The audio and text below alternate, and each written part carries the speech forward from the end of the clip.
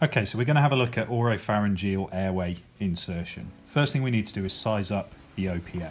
To do that, we're going to look at the angle of the patient's jaw. So I'm going to place the end of the OPA against the angle of the patient's jaw and have a look at the angle across where the patient's incisors are. So we're going for the level of the patient's incisors, which looks to be around about the right level for this size OPA and this patient.